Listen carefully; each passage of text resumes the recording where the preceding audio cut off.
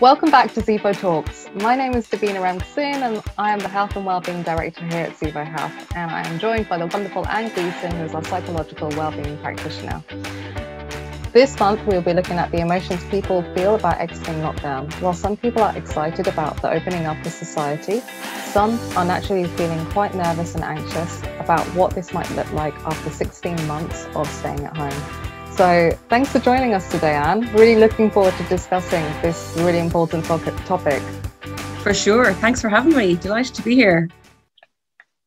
Excellent. So, shall we jump straight in and we'll just kind of look at first off, um, you know, what mm. anxiety? Uh, I mean, at this point in time, we'd probably be, um, most people will be able to reel off the symptoms, you know, off the back of the hand. But let's, let's start looking at it from the mental health perspective, shall we? Mm.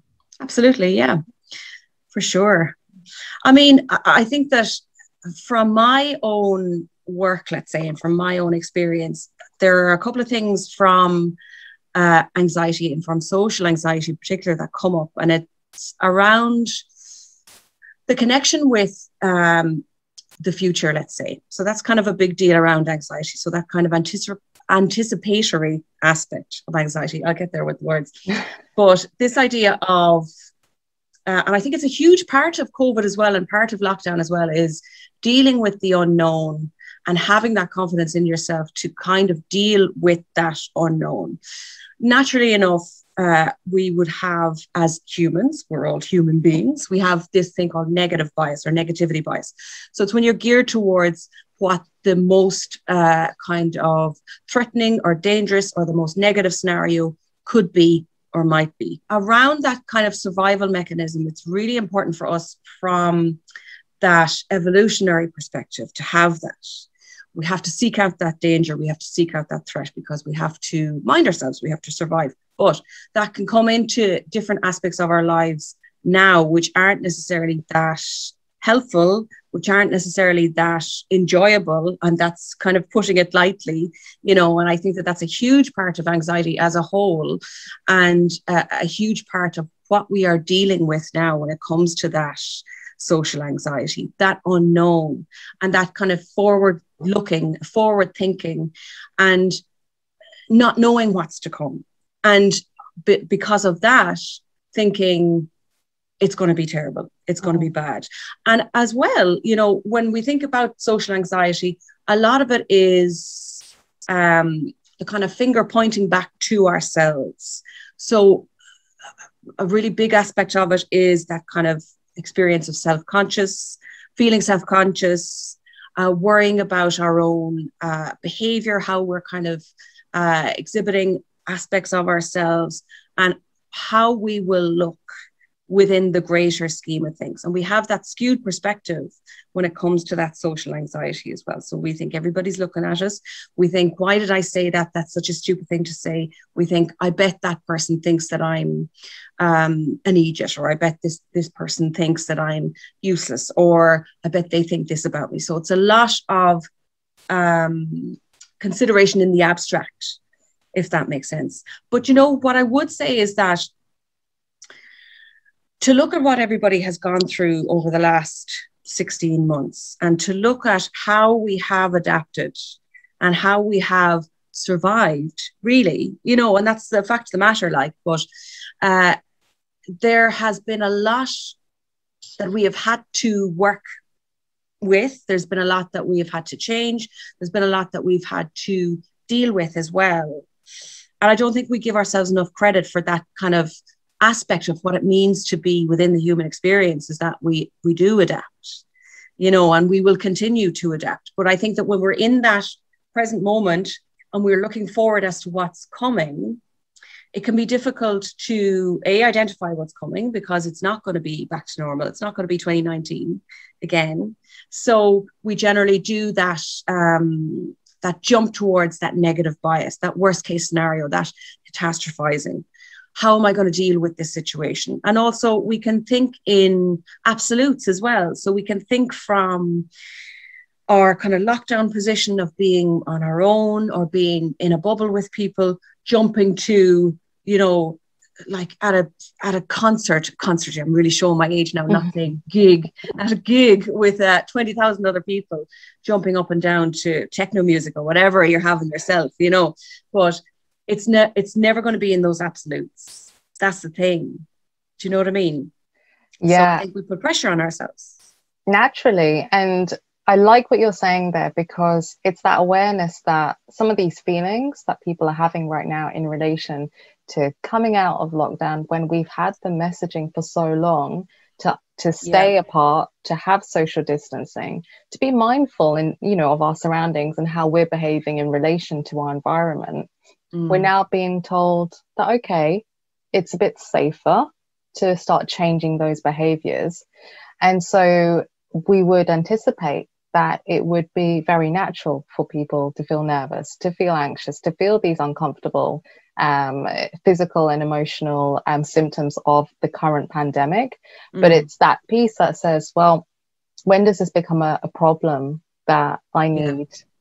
medical or professional mental health support? And it's that sense of, you know, not everyone who dislikes crowds will have agoraphobia um, it's it's it's a common reaction that anyone who may be going into public places or into crowds, into the gigs or the concerts, mm, um, mm. you know, traveling away from home where we've been bound to for so long, that they might have some of these behaviors which says, actually, I don't feel safe there. I feel nervous around who's going to be there, how I'm going to feel safe. Am I going to be safe? Do I have an easy exit out of this environment if I don't like it? Mm. Um, and so there's that sense of going, we don't want to pathologize everything. We don't want to label everything as a mental health illness.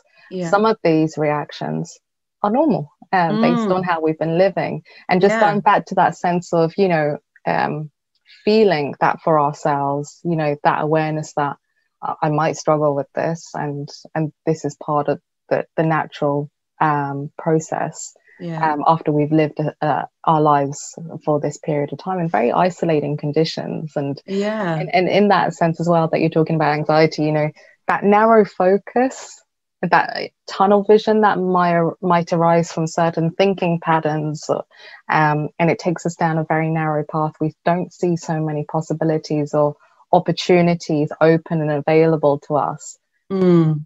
and that can be very debilitating and it's important to observe for ourselves without judging anyone else because we all have different personalities we all have different experiences mm-hmm. and we bring that with us to every situation we go to so that understanding that i may react differently to the how you may react and you know mm, and, mm. and and even i think we've had that coming through in like focus groups and friendship groups where one person might be mad for the crack. They might be going, everyone, let's go to the pub, let's get out, let's do this. Yeah, like a and caged then, animal trying yes. to be released. Yeah. You know.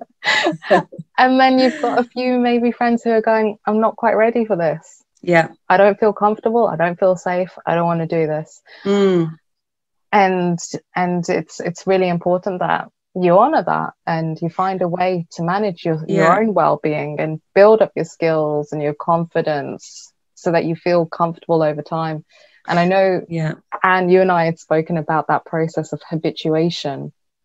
Yeah. Yeah for sure. I i think that you know i think you hit on a really important point in the sense of that uh, that need for us or that kind of default mode uh, within us to compare, see how I am, see how I feel. Is this normal? I mean, what's normal? Do you know what I mean? Like, so that kind of comparison piece comes into that um, process of habituation and that um, uh, integration of, of, of what it means to be really like in an adjustment period. Mm. There is naturally a, a, discomfort around adjustment because those of us who are more impatient than others, I'm putting two hands up instead of one here, but just for you listening. But uh, I think that we can feel like that interim period is uh, unfamiliar because it's quite uncertain, and that uncertainty can breed.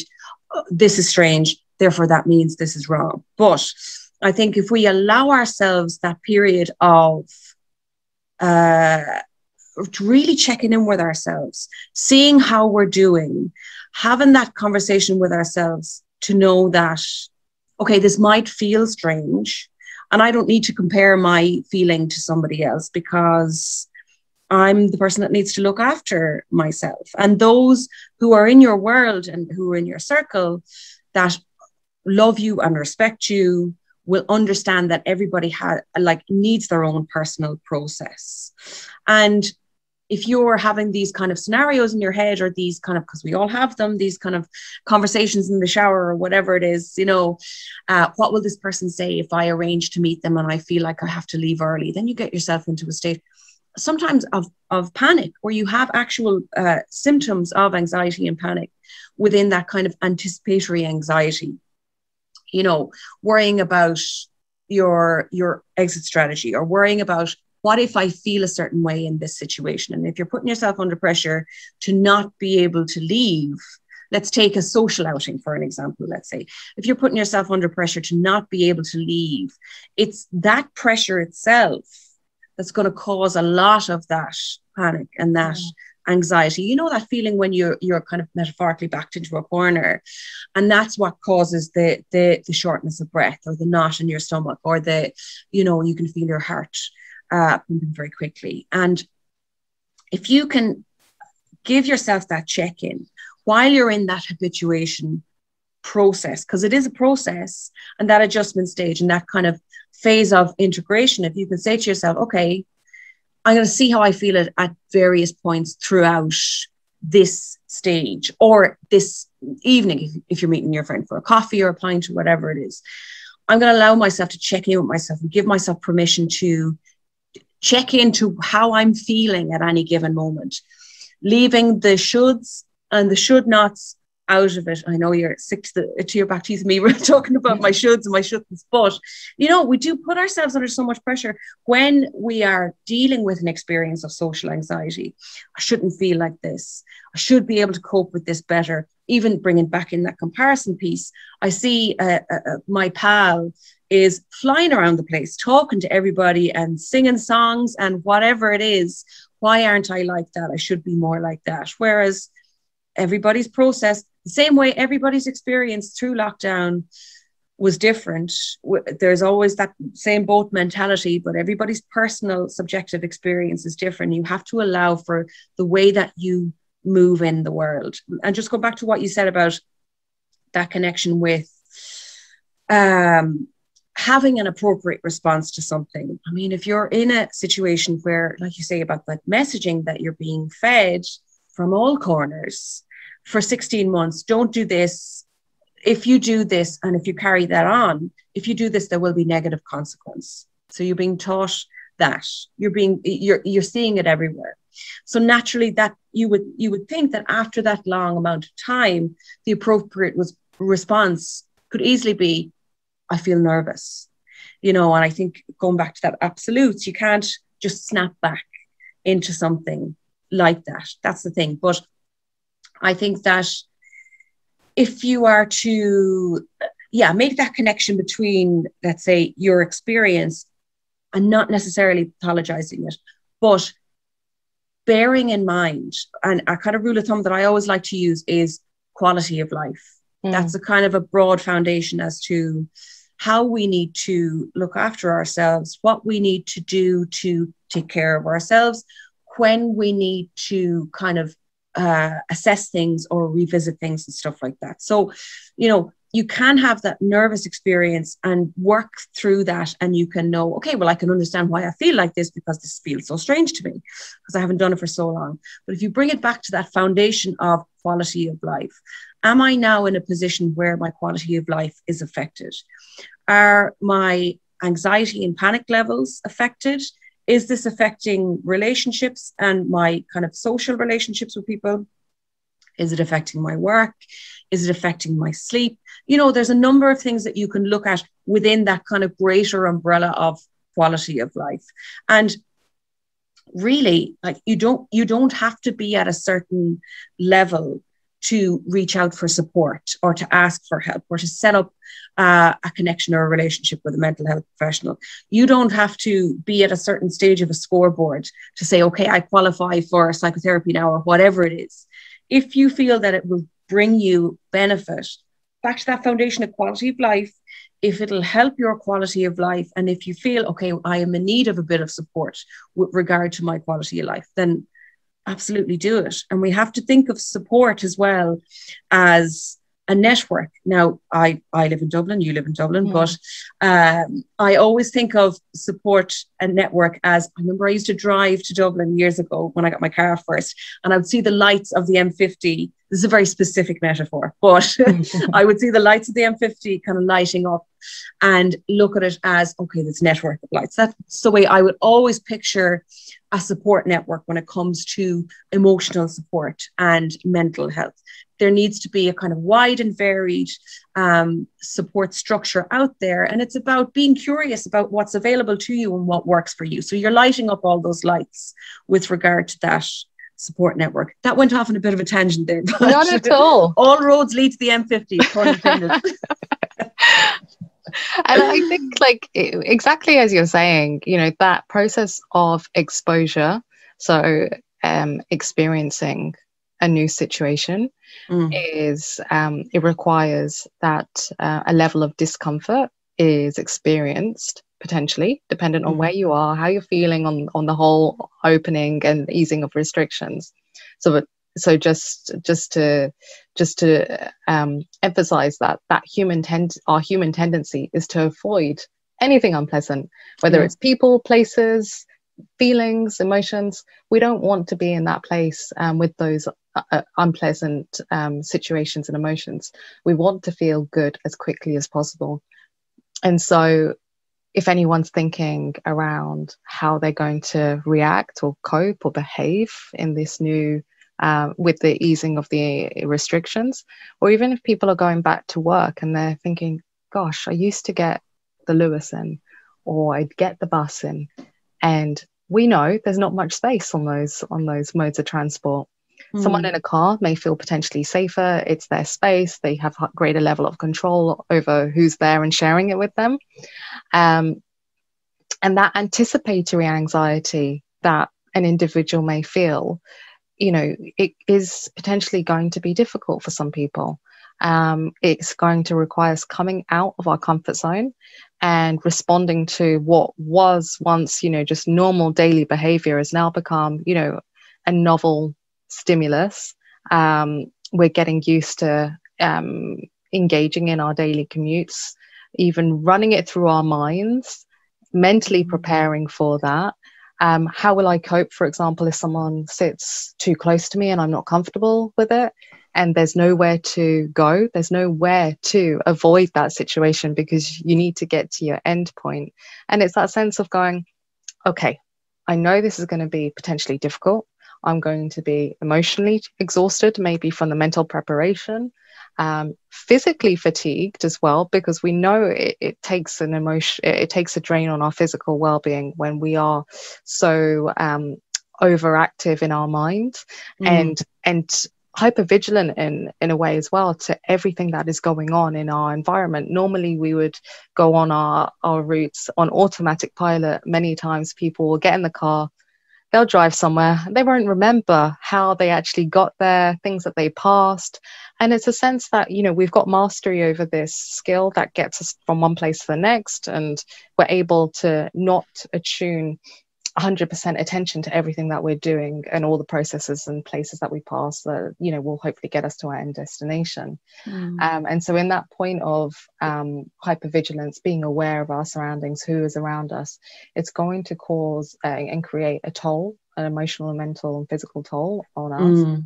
and even just that awareness of we'll be using our bodies in different ways you know expending more energy um, by you know the commute is no longer from your bedroom to the next room or you know the kitchen or even just working in the same bedroom that you're potentially in yeah. you know there's there's a greater energy expenditure from making that physical commute and so that is also going to be feeding into the anxiety and all the other emotions the thoughts um, that are leading you to get to the next stage. But just know that that through that process of habituation, mm. i.e., doing it over and over and over again, getting to feel comfortable with it, you build your confidence up and you feel that you get to know where your comfort levels are, how they're adjusting. And you when you look back on it, you'd see that at the beginning you'd see have a higher spike maybe in anxiety or stress it doesn't necessarily need to go to anxiety it just could be stress mm-hmm. and you know you have that spike in the initial stages and then as you go through the journey hopefully you know your your stress or anxiety will start to dip. And the more you go through that process the more you expose yourself to this unpleasant situation the the quicker it will take you to habituate or come back to a comfortable level of functioning where you're not constantly scanning and worried and thinking about who's around you, um, whether you're safe, um, you know, engaging in negative thinking patterns. and and you spoke about that negative thinking bias. You know, the body has a time has time to to rest in that in that process or in that situation rather that you're in. Mm. And and I think that's the bit that's going to be so difficult after having our safety um, be confined to our homes or mm. you know if we're in bubbles with people we have safe places that we can get to mm. so i'd say you know employers and friends family members even children you know they, they might be feeling you know what does this look like now um, mm. how do i feel comfortable um, engaging in people who are around me and just to think back as well there were some great stats, um, I guess, just to share how much this is affecting the general population. So there was a study that was conducted last March at the beginning, towards the beginning of the pandemic by Maynooth University. And I've just got I've just got the stats here. So, you know, they were saying 41% of people reported feeling lonely. 23% were reporting clinically meaningful levels of depression. 20% were reporting clinically meaningful levels of anxiety and so on. And this is taken of a sample of a thousand people. So, you know, it's not ne- necessarily representative of the Irish population, but we can see those trends. Mm, and yeah. And and the recent data with the CSO, so they did um, uh, their their social impact of COVID nineteen survey, which was released in February 2021. You know, there was clear evidence to show that the 18 to 34 year olds, that age bracket, um, were negatively they, they felt covid-19 pandemic had negatively affected their mental health and well-being. So 74% almost 75% of that age bracket who completed that that survey felt that the pandemic was having a negative effect on their mental health. Mm. um, and of course there are gender differences. So um, women between women and men, women were reporting higher levels um, of anxiety um, in comparison to men, and we would have seen those trends in general literature, in general, anyways. So I think it's just you know thinking around. You spoke about support networks. I think that's the pandemic has highlighted so clearly how important and how valuable our networks are mm. and having them removed. Totally totally. And that's i think that that's a huge thing uh, that has been a really jarring experience for for people in lots of different ways amongst the the kind of the the different stages uh, of this lockdown or this kind of pandemic experience. That that it being taken away like you say and feeling that kind of stark contrast of what it means to be without something that was just so easily attainable, you know, and something that kind of comes to mind as well around those um like huge stats really aren't they? You know what i mean? But uh, amongst that as well it's important to, to to look at what that means to be going through something like that but also having an isolated experience. Now you can be lonely while surrounded by people as well you know what i mean so mm. so loneliness and isolation aren't necessarily the, the same thing but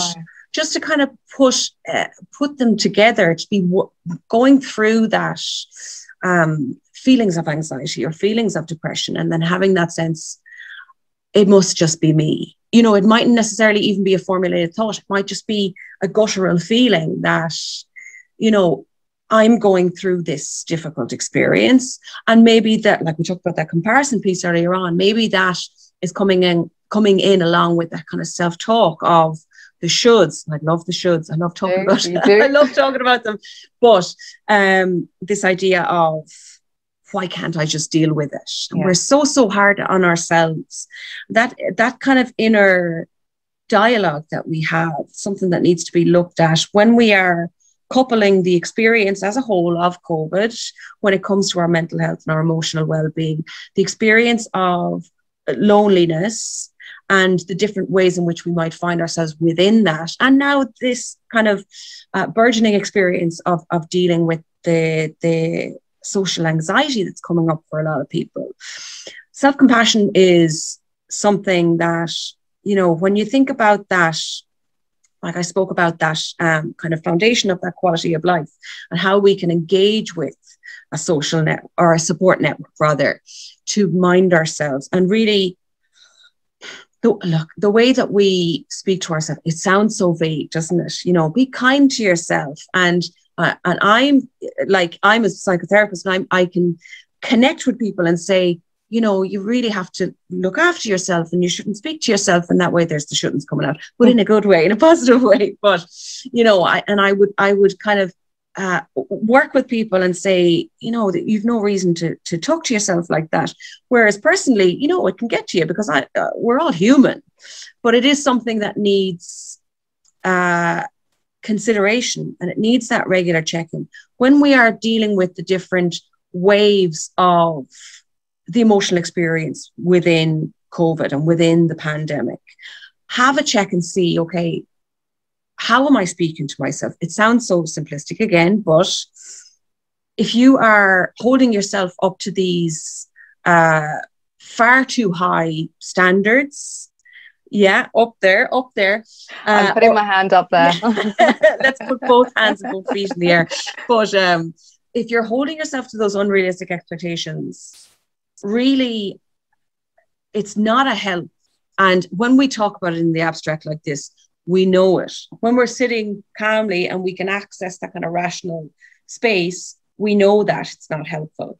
But when you're caught in that uh, overwhelm and you don't have access to that, it can build and it can grow legs. So if you are in a position where you're dealing with a certain uh, experience with regard to your mental health or dealing with a certain experience of COVID that is impacting your emotional well being. And if you're talking to yourself in a way that you would never talk to anybody else, or like I smile when I say it all the time, but if you would get a dirty look if you talk to somebody like that, or you would perhaps lose a friend or lose a partner, then think about the impact that that's having on you if you're repeatedly talking to yourself like that. So we kind of need to, as corny as it sounds, be our own cheerleader within this because if we are allowing ourselves to experience new things and if we are building our own awareness of our resilience and if we're building that kind of self trust, that's going to help uh, at a rate of knots in these new experiences because this is not going back to the old way like i said this is like i said this is a new experience you know so allowing ourselves to be in a position of creating habituation if we're building that trust building that resilience we'll build that uh, kind of um, ability in ourselves to do that. I know i'll be fine because i look after myself. I know that i can trust myself. I know that i have dealt with difficulty in the past. I know that this is difficult now but doesn't mean i can't do it you know? So it's a big huge thing as part of this huge thing. And what you're kind of leading into very nicely there as well is it's a skill. You know, these mm. social skills, how do we behave in relation and interact um, to others? you know, we've been looking at each other through a screen for so long. Yeah. And then, yeah. and then you're out in public again and you know you, you, it's a skill that you have to build and continue using so if you're feeling as if you know you don't know how to hold yourself even you know you know yourself when you you might be in a public space and you're not quite sure how to you know what to do with your hands where do, do i put my hands yeah. yeah. how do i walk i've forgotten how to walk um and just and just feeling comfortable um, mm. in those situations so that's another part of it that skill building and just on um, self-compassion very difficult isn't it oh very so hard. difficult I talk big talk now. No, from, that's my trade, obviously. But you know, I, I, feel myself sometimes going, "Would you ever take your own advice?" Like, you yeah. know. So yeah. it is difficult. It really is. But it's again a skill as well. It takes practice, and it's not something that you say, "Okay, I, I've read an article about self compassion, and now the next morning I've woken up and I'm the most self compassionate person in the world." You have to keep regularly checking in with yeah. that, and also back to what you said about the, the, the kind of impact around energy and the kind of physical exertion and emotional energy that's being used entering into these situations get, going on your commute and stuff like that. Knowing that like your energy is changing all the time. And so your emotional uh, experience your mood is going to change all the time. And that might mean that you your, your self-talk changes and that also might mean then you need to kind of bolster or kind of cushion yourself with different levels of self compassion. You know what I mean? It comes back as well to that point. Um, just before I forget, this idea of uh, balancing. So, understanding that this thing that I'm doing in my day is taking it out of me. So, no wonder I feel tired. You know, so joining the dots in that sense and not kind of saying, because it's been the experience of a lot of people where they would be moving from the couch to the kitchen table where I'm at now and uh, uh, kind of mentally stimulated all through the day and having a huge mental and emotional workload. And then at the end of the day saying, why am I so tired? I haven't moved off this chair all day, you know, but just to kind of step back and see, okay, ah, this is why, because I've been using other types of uh, kind of workload and energy and stuff mm-hmm. like that. Try and, and try and create a balance within that as well. So yeah, yes, you have to kind of take steps to do things that might make you feel that sense of discomfort, but you have to also meet that with I can do it. You know, it's definitely something that I can do and it will get easier over time. But to, to, to bring, to kind of be realistic about it as well. So if you're spending a lot of emotional energy and mental energy over a week to say, okay, well, maybe I need to take a day at the weekend just to chill out, read my book, whatever it is, to, to create that bolster, that balance for yourself. Yeah. And just as you're saying that, in relation to um, the analogy that you gave there, you know, that speaking to yourself, you know, that awareness of, gosh, this is really tough.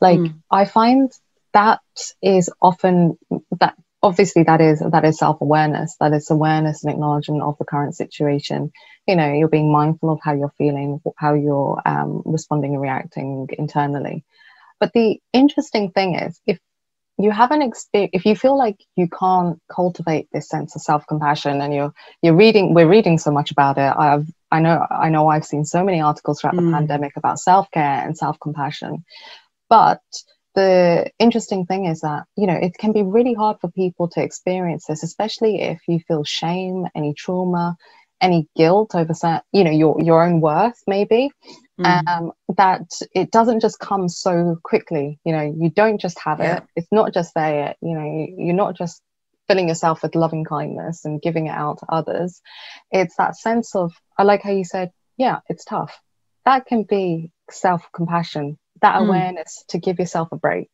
to just mm. say okay yeah this has been really tough um, and and it has been really hard and and i'm going to acknowledge that that is your your compassion yeah. to yourself in yeah. that moment start small in essence and and i think that's probably the key to a lot of this it's start small and be consistent with these practices and i can hear people probably saying it's so hard i start one thing i, I think i'm going to do it for the week i yeah. get to the end of day one and i've forgotten it for the next day mm. or you know and then you, you end up in this cycle of again just going down the rabbit hole i'm not good enough i'll never get there i can never do this yeah and yeah i can't even i can't even do this for more than one or two days yeah, or whatever yeah, yeah. it's I, yeah it's huge It is, and, and, well. and, and especially through the pandemic, there's been so many self care tips do this, do that, don't do this, don't do that. And it seems so simple and so logical. You're like, yeah, sure, eat a meal, get eight, me- get eight hours of sleep a day. Don't, t- mm. don't, don't have your phone on. But uh, the reality is that we are all struggling and yeah. you know we're, we're having our good days we're having our bad days there'll be there'll be days for people when they can absolutely go out and be in a social group and there's no problems and what was i worrying for you know that was grand and then you come in you go into another situation and it's not the same mm. and you know it might be that your resilience is a bit little bit lower that day mm. and mm. having that awareness to go okay i found it i found i was able to fly through that situation last time today i'm finding it a bit hard maybe i need to do something a bit different in this moment and that mm. can be that sense of i'm going to call it a day here i've done the most i can and that's that's huge in that day and in that moment mm. Mm. absolutely yeah that's the thing uh, really like naming something like that naming whether it be naming your particular experience and not uh, kind of what, what, what would you describe it like kind of getting in your own way by saying instead of naming the fact that this is difficult i'm going to say i'm absolutely useful, useless for not being able to deal with that. That's jumping onto that kind of shame piece really. And it's not if you acknowledge what's happening for you and allow it to be the case and know that it's always going to be dynamic and things are going to change all the time and like you say those great examples about you can go into a situation and be like super social person and making everybody laugh and cracking all of the jokes, you know, and the next time maybe your your particular emotional experience is different and you just can't do it or the environment doesn't allow for it or whatever it is. But just to kind of name what's there, name as well what you have done within a situation because I think that within those kind of experiences when you are dealing with that social anxiety we can have a tendency to go into that all or nothing thinking I have to stay up till 2 a.m.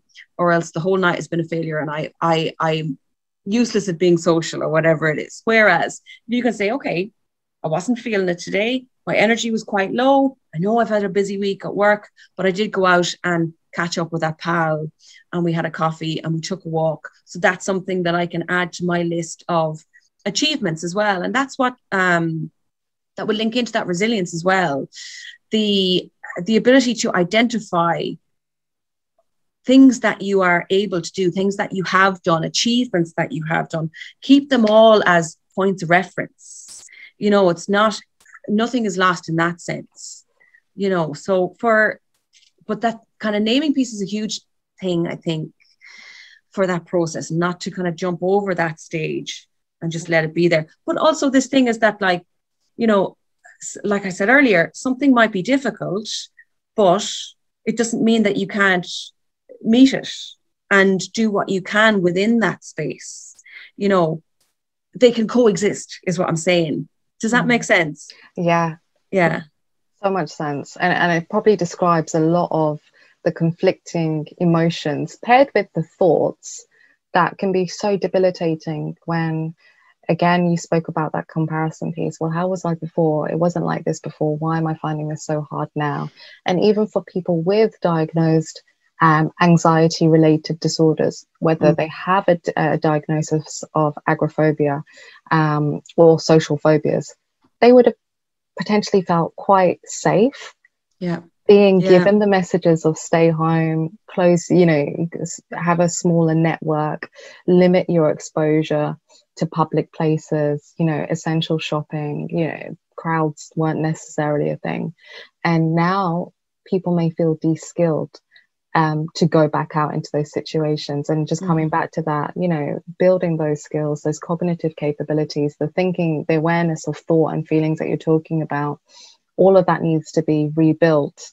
Mm. And mm. that process of habituation that people may have, you know, um, overcome in the past. They may be looking at the bo- the top of the mountain from the bottom of it, bottom of it, going, "I don't have the energy to do this again," or "I don't know how I'm going to do this again." Or they might be going, "Well, I did it once. I'll do it again.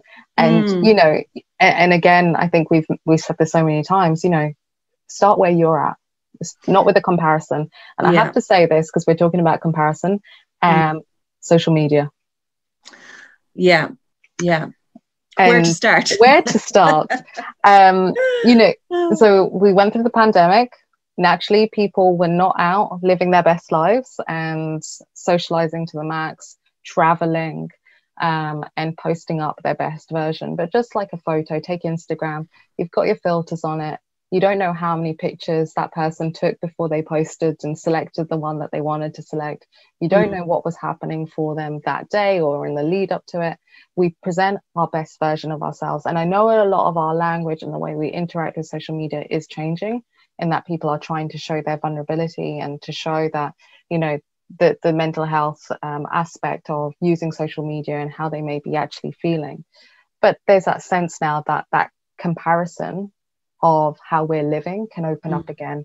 And if you're not ready to be out socializing if you're finding it difficult don't compare yourself. And easy easy mm. to say the don't compare yourself. We will naturally do that. But yeah. i think it's about using and and i think we've spoken about this before and you know making social media work for you. Yeah. So yeah, you know sure.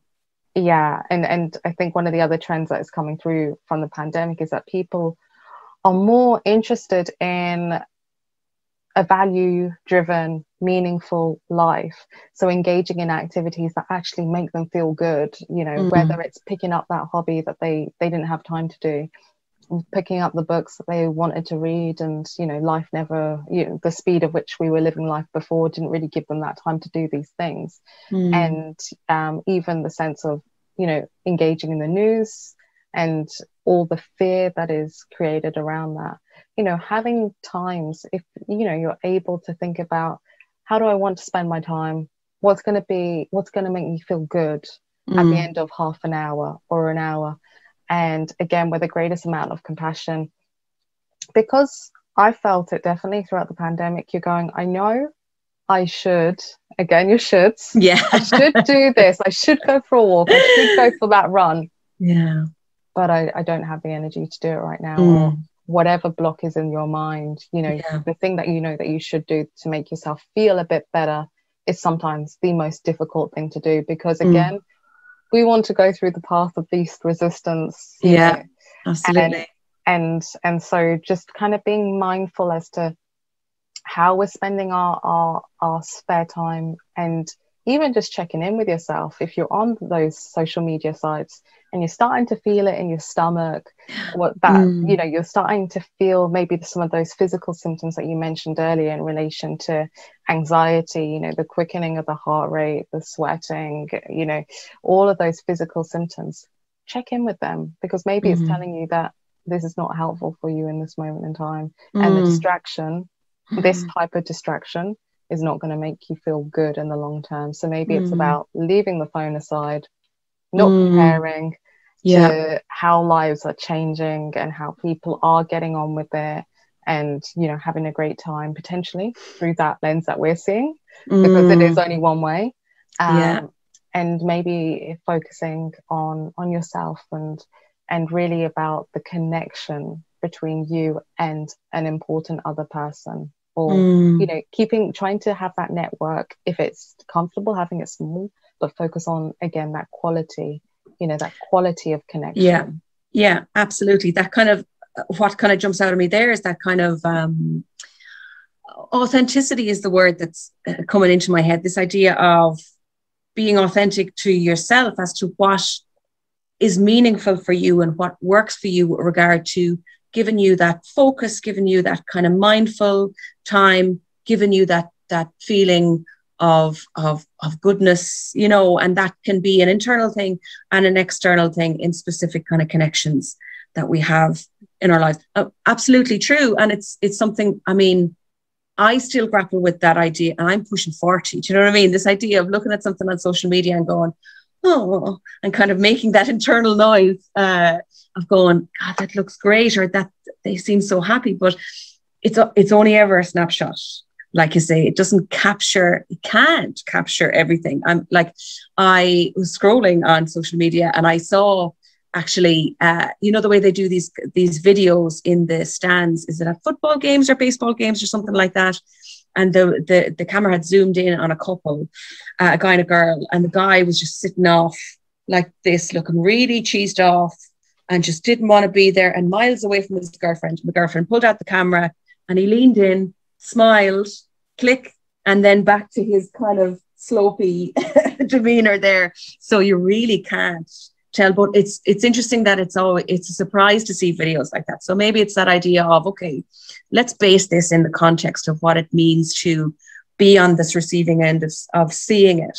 And also yeah this idea of am i spending time kind of throwing myself into something that is leaving me with that empty feeling? Or can i do something within that curating your feed? Like uh, uh, looping in with with actual kind of topics and themes that are of interest to you and that give you that sense of kind of an emotional nourishment and bringing it into your own world as well and developing that those authentic spaces and really yeah tapping into what makes you feel good is such a subjective experience as well. So i say this as i look over the room and see those bloody roller skates that i keep talking to you about but uh, you know, if it's something that you feel, God, I feel great after that, or I really got a sense of myself, or you know, I, I did something that I feel really proud of, or I had a great old laugh, or even I felt so silly. That's yeah. a real there's a goodness in that as well. Mm. You know, so it's it's it's it's creating that structure for yourself mm. while we're entering into this new world and creating that ability to um, be curious and to, to, to step into new things and try new things out mm. while always kind of keeping that reinforcement of developing your own self-compassion keeping a check on it and keeping a check on where you're at when it comes to that foundation of quality of life and what your needs are. Do you yeah, know what i mean? I like that. It's it's it's consciously creating a life that you know works for you in that sense yeah. that authenticity and regaining control as well mm. and as you were speaking i was just thinking around you know around the easing of the restrictions and you know people will be getting their covid passports mm. but does that mean you need to travel not at all mm. no it, yeah and and you know living that the life that you, that is going to make you feel most comfortable and bring you that quality life is the most important thing mm. um, and something we sometimes forget about when we're when we're on the hamster wheel yeah trying to keep up with other people and mm. again we're, we're back at that comparison piece but i think from the pandemic again we've all we've all learned you know what you know to be in touch with our values and mm. how important and for and how much fulfillment that brings us Mm. So we're kind of at a point where we have new opportunities available to us, but with opportunity always comes that sense of fear, stress, and challenge.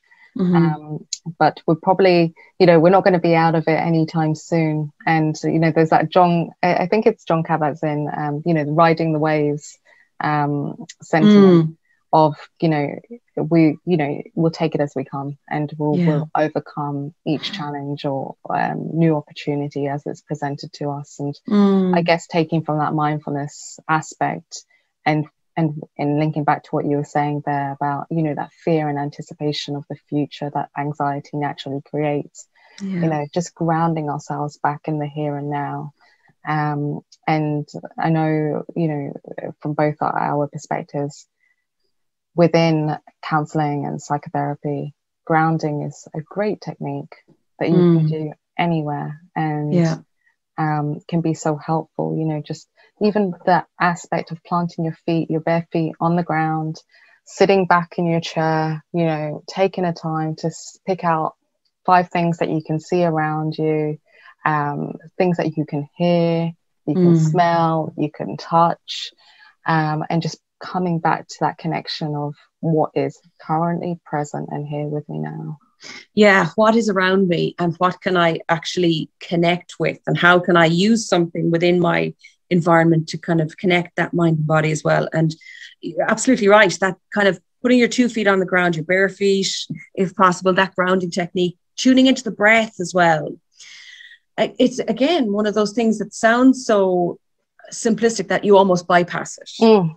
But it's so, so useful to bring you back because if you are in that mode of looking towards what's going to happen and you're delving into those what ifs, you're not there. So if you allow allow yourself to be in that present moment, even just to give yourself a couple of minutes of respite, you're able to bring yourself down from that state of overwhelm. And that is absolutely huge to be able to do that, you know. And and again, we might think it should be second nature, but it's not. It's it's something that we need to kind of work towards, and we have to keep that check in. Same with the check in with self compassion. Keep that check in. Uh, are we allowing ourselves to be in a here and now situation? Are we allowing ourselves to be back into the present moment? Because like that hamster wheel, you're up on it, and then you're go go go, and you get caught up in different aspects of your day, whether it is things that you're kind of engaged in or whether you're thinking about what this is going to be like or what that's going to be like or whatever it is. And uh, uh, another thing as well that i was going to say you know when you say about that um, rebuilding skills those people who would deal with uh, mental health issues around social anxiety and agoraphobia and stuff like that to think about building and it's, it's funny that you said it because building is something that's been going around my head the idea of it, the concept of it for a long time now, this idea of slow down. You know, if you think about somebody building a wall, let's say, you're not going to say, start building that wall there, and then you walk over to the kitchen and make a cup of tea and they're finished. It takes time. And there needs to be focus on the actual, you know, if we break it down to the minutiae of the detail, like it needs to be there needs to be a focus on each specific part of that task. So when you're thinking of bringing yourself back into the world or entering back into the world, however way you want to describe it, build, mm. you know, take your time. Uh, you talk about looking at and the pressure that we put ourselves under, being at the bottom of the mountain, and looking up at the top. All you need to do is just go by the step that's in front of you. And that's that's all you can do anyway. Yeah you know that's all we can ever do is to go at that level and if we can keep ourselves our eye level there then that's going to be useful for us building up that resilience building up that trust within ourselves because it's just not possible to you may have the longest legs in the world but you won't be able to step up to the top of the stairs or the top of the mountain whatever kind of metaphor you yeah. want to use and i think there's this um, misconception that um, there is a top to the mountain yeah. that yeah. i will engage in psychotherapy or CBT, or I will start a regular exercise routine to help manage the physical symptoms of my anxiety. You know, we know that um, raising the heart rate, for example, can help bring down uh, and manage a, a, potential anxiety attack you know, through mm. the, the tip skills um, that people often often use. But that's not to say that once you've got into that routine, once you've mastered um, the the CBT thinking techniques that you're never going to have a negative thought again, or you're never mm. going to go down a negative rumination path. Of course, we are, and it's mm. that sense of every day we need to keep practicing these skills, and they get stronger. But it might not ever be the top of the mountain, and that yeah. we feel that we're completely confident and competent in ourselves, that we're never going to feel anxious again. Because coming back to what we were saying at the beginning, anxiety is quite normal and it's a survival yeah. function that we need in certain situations. Mm. Um, and I know um, on the Zevo Health app, you, we've got the meditation section, and a lot of people may use that every now and then. If you've got access to that, I definitely recommend having a link in with that. But if mm. you don't have that, if you need that help to think around the grounding and how to slow your body down, there are great breathing apps out there that also do a similar thing. And Anxiety Ireland have some great resources as well, and the HSC. You know, if you're thinking, you know, are these symptoms that I'm feeling, are they anxiety? Are they anxiety? Um, mm. You know, have a little bit of research and definitely go and see your GP and talk it through. Or if it's not the GP, it's a friend, or if it's not a friend, it's a counselor. Or if it's not a counselor, you know, there's the EAP that's usually available from your employer, the Employee yeah. Assistance Program. Um, that you could just have that that time just to have that introspection, get out of your head what you may have been carrying in isolation and it mm. just keeps going round and round and round and speak it through and help unravel it with someone mm. who's not going to judge you um, because we're all trained in that way to listen non-judgmentally and yeah. and that process of counseling or psychotherapy is conducted in a way in such that you are the the key person you are you know yourself best and your counselor or your psychotherapist is going to be the facilitator but they'll never yeah. tell you that this is your problem and you know this is what you need to do to be healthy and happy it's un- meeting you where you are and finding what would work for you so yeah. you're still very much in control and you're you're increasing your sense of empowerment and your um, agency to be able to find a way to look after yourself in mm. these situations mm. and and i think when you come at it from that perspective it's it again takes the pressure off um, yourself to go i'm going to be well i'm going to take this medication and i'm going to be fine you know it, yes it can help but it's the whole system and that and how we how we look after ourselves what we do um, what support we get um, what our social network and support network is like and and how all of those pieces fit together and how they they help us to be well. Mm, mm, absolutely. It's that regular check-in piece and that regular consideration uh, that we're human and that we will have bumps in the road.